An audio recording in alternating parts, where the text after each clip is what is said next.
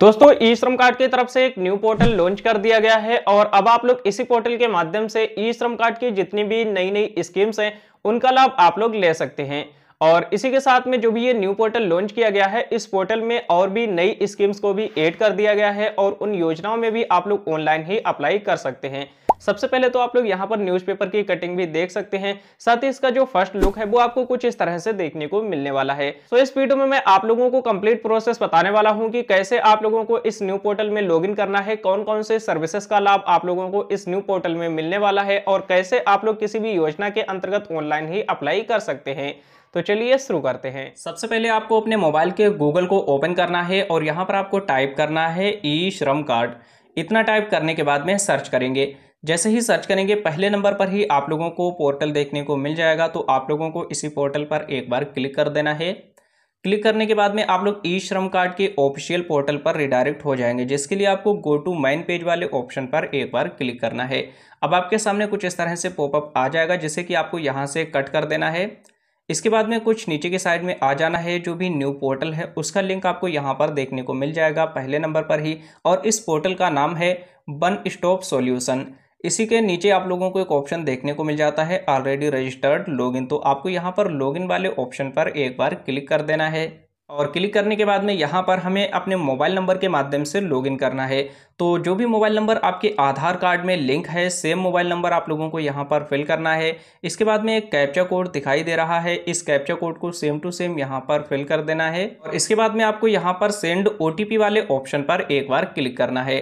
Click करने के बाद में आपके मोबाइल नंबर पर एक ओटीपी सेंड किया जाएगा। उस ओटीपी को आपको यहाँ पर फिल कर देना है। और ओटीपी फिल करने के बाद में सबमिट वाले ऑप्शन पर एक बार क्लिक करना है। जैसे ही सबमिट करेंगे, अब आपको यहाँ पर अपने आधार कार्ड नंबर को भी एंटर करना पड़ेगा। सबसे पहले आधार नंबर डालेंगे, तीन ऑप्शन और मिलेंगे। पहला ऑप्शन है फिंगरप्रिंट का, दूसरा ऑप्शन है आयरिस और तीसरा ओटीपी तो बहुत से लोगों के पास में फिंगरप्रिंट डिवाइस नहीं होगी और ना ही आयरिस डिवाइस होगी तो आप लोगों को यहाँ पर ओटीपी वाले ऑप्शन को सिलेक्ट कर लेना है। ऑप्शन को सिलेक्ट करने के बाद में एक कैप्चा देखने को मिल जाएगा। इस कैप्चा कोड को दोबारा से आपको यहाँ पर एंटर कर देना है। इसके बाद में यहाँ पर आपको सबमिट वाले ऑप्शन पर एक बार क्लिक करना है। क्लिक करने के बाद में आपके आधार कार्ड में जो भी मोबाइल नंबर लिंक है तो इस मोबाइल नंबर पर एक बार फिर से ओटीपी सेंड किया जाएगा। अब उस ओटीपी को आप लोगों को इस वाले बॉक्स में फिल कर देना है और ओटीपी फिल करने के बाद में वैलिडेट वाले ऑप्शन पर एक बार क्लिक करना है और इसके बाद आपके सामने कुछ इस तरह से पेज आ जाता है, जिसमें कि यहाँ पर आपको एक बॉक्स दिखाई दे रहा है। इस वाले बॉक्स पर आप लोगों को टिक नहीं लगाना है। अगर आप इस पर टिक लगाते हैं तो आपका जो ई श्रम कार्ड है, वह पूरी तरह से डिलीट कर दिया जाएगा। इसलिए आप लोगों को इसे ऐसे ही रहने देना है और यहाँ पर आप लोगों को update E K Y C information वाले ऑप्शन पर एक बार क्लिक कर देना है। जैसे ही क्लिक करेंगे, इसके बाद में आप लोग गवर्नमेंट की तरफ़ से जो भी न्यू पोर्टल लॉन्च किया गया है, उस पोर्टल में सक्सेसफुली लॉगिन हो जाएँगे। जैसा कि आप लोग यहाँ पर देख सकते हो, इसका जो लुक है, वह पूरी तरह से चेंज हो चुका है और यहाँ पर और भी कुछ नई सर्विसेज़ को भी ऐड कर दिया गया है।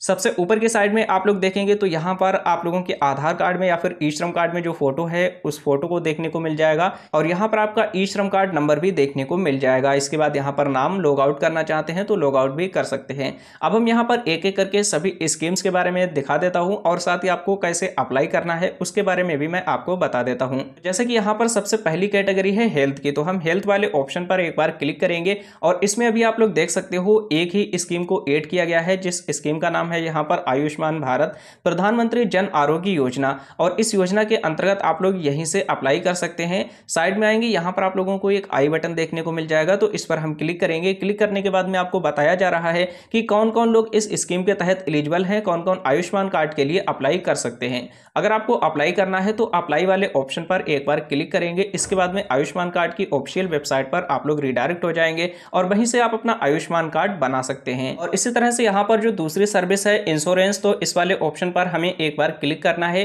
क्लिक करने के बाद में इंश्योरेंस से संबंधित जितनी भी स्कीम्स चलाई जा रही हैं तो उनके नाम भी आप यहाँ पर देख सकते हैं। जिसमें की पहली स्कीम है प्रधानमंत्री सुरक्षा बीमा योजना और दूसरी स्कीम है प्रधानमंत्री जीवन ज्योति बीमा योजना। इस योजना के अंतर्गत भी आप लोग यहीं से अप्लाई कर सकते हैं। इसके बाद में यहाँ पर कुछ स्कीम्स पेंशन के लिए भी चलाई जाती हैं। बाद में यहाँ पर अभी आप देख सकते हो पेंशन से रिलेटेड यहाँ पर तीन स्कीम्स चलाई जाती हैं। और पेंशन में किस तरह से अप्लाई करना है, कितना पैसा आपको मिलने वाला है तो उसकी इन्फॉर्मेशन आई बटन पर क्लिक करके आप लोगों को देखने को मिल जाएगी। इसके बाद में यहाँ पर एक ऑप्शन मिल जाता है क्रेडिट का। तो हम क्रेडिट वाले ऑप्शन पर एक बार क्लिक करेंगे। देन क्लिक करने के बाद में क्रेडिट से संबंधित जितनी भी गवर्नमेंट स्कीम्स हैं वो आप यहाँ पर देख सकते हैं। तो यहाँ पर अभी फ़िलहाल एक ही स्कीम है, जिस स्कीम का नाम है पीएम स्वनिधि इस योजना के अंतर्गत आप लोग गवर्नमेंट की तरफ़ से लोन ले सकते हैं लोन के लिए अप्लाई कर सकते हैं। तो लोन अगर आपको चाहिए हो तो यहीं से आप लोग अप्लाई करके पीएम स्वनिधि योजना के अंतर्गत पहली बार दस हज़ार, दूसरी बार में यहाँ पर बीस हज़ार और तीसरी बार में पचास हज़ार रुपये तक का लोन ले सकते हैं।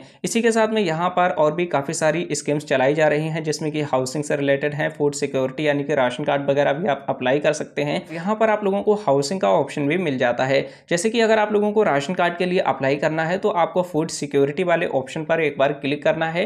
तो अभी यहाँ पर कोई भी सर्विस अवेलेबल नहीं है। जल्द ही यहाँ पर ये जो सर्विस है, राशन कार्ड की, ये एड कर दी जाएगी। इसके बाद में कुछ और भी नीचे की साइड में आएँगे। यहाँ पर आप लोगों को एक ऑप्शन देखने को मिल जाता है एम्प्लॉयमेंट तो इस वाले ऑप्शन पर हमें एक बार क्लिक करना है। देन क्लिक करने के बाद में अभी आप देख सकते हो एम्प्लॉयमेंट से संबंधित काफ़ी सारी स्कीम्स चलाई जा रही हैं, जिसमें कि यहाँ पर आप लोग मनरेगा जॉब कार्ड के लिए भी अप्लाई कर सकते हैं। पीएम कौशल विकास योजना के लिए अप्लाई कर सकते हैं। पीएम ईजीपी लोन यानी कि इस योजना के अंतर्गत आप लोग गवर्नमेंट की तरफ़ से लोन के लिए भी अप्लाई कर सकते हैं। लोन के लिए एलिजिबिलिटी क्या है? कैसे अप्लाई करना है? तो आई बटन पर क्लिक करेंगे। देन इसके बाद में यहाँ पर इस योजना से रिलेटेड कंप्लीट इन्फॉर्मेशन आपको देखने को मिल जाती है। और इसी के साथ में यहाँ पर प्रधानमंत्री आवास योजना को भी एड कर दिया गया है। आई बटन पर क्लिक करके इन्फॉर्मेशन प्राप्त कर सकते हैं। अप्लाई करने के लिए आपको अप्लाई वाले ऑप्शन पर एक बार क्लिक करना होगा। जिन भी कैटेगरीज के लिए आप इनरोल्ड हैं तो उनकी इन्फॉर्मेशन आप लोग यहाँ पर देख सकते हैं। और जो भी स्कीम के लिए आप इनरोल्ड हैं तो उनकी भी आप लोग इन्फॉर्मेशन देख सकते हैं। क्लिक टू व्यू वाले ऑप्शन पर एक बार क्लिक करेंगे।